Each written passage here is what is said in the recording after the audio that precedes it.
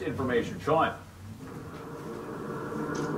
Yeah, Lee, this time last night, this portion of Parkwood was filled with police officers. Tonight, You heard it's a lot that shit, more man? calm. You know, three niggas got shot, dude. anxious because a killer is still on the loose. Man, three niggas got shot, dude. Toledo police responded to the I'm watching it right shooting now. at the Parkwood Apartments around 5 Thursday night, but by that time, resident Lewis Riley already knew what was happening. For a minute there, it like shook me to my core because I didn't know uh, what it was at, at first. You know, and I was like, man, that's gunshots, and I shut my door. The unimaginable on the other side of the door, three people shot. Let that shit ride, 88. Hey, yo, Pluto. You going brazen.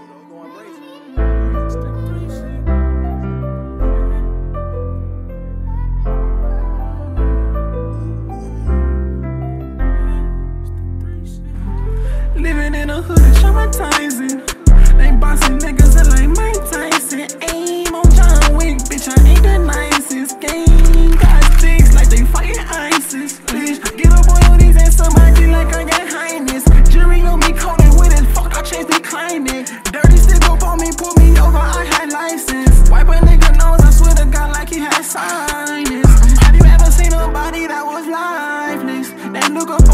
that shit was priceless. Haircut them bitches who make sacrifices. Got hungry chicken to me, they seem. Mm. And I still love him. We ain't got the same mother, but that's still my real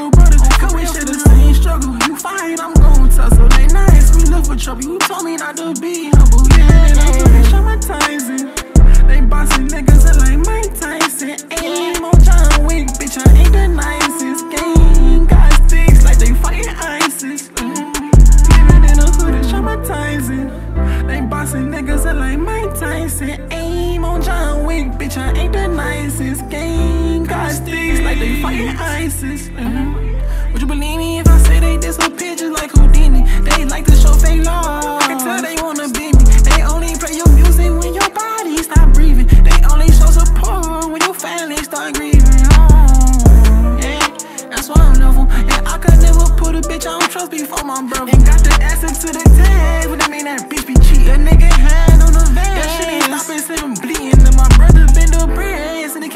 that feeling. I wonder if he feel the same if a bank account had read a million. I pray that for my 80th birthday, that my brother still living.